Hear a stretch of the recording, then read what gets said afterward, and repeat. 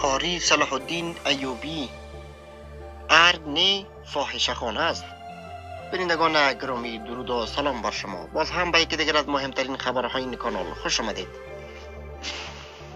قاری صلاح الدین ایوبی فرمانده ارشد و بظاهر ناراض ازبک تبار طالبان که در روزهای سقوط کابل وارد ارگ ریاست جمهوری شده بود در بخشی از یک مصاحبه با یکی از شبکه های فرانسوی می‌گوید. وقتی وارد ارگ ریاست جمهوری شدیم اینطور احساس می‌کردیم که ارگ نبود بلکه یک فاحشه خانه بود. مشخص نیست هدف ایوبی از این مورد چیست. اما در دوره جمهوریت اتهامات جدی فحش علیه افراد نزدیک به اشرف غنی مخصوصا محمود فضلی رئیس پیشین اداره امور وجود داشت.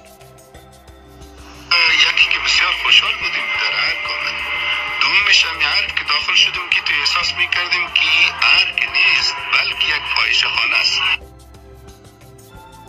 از توجهتان جهان سپاس.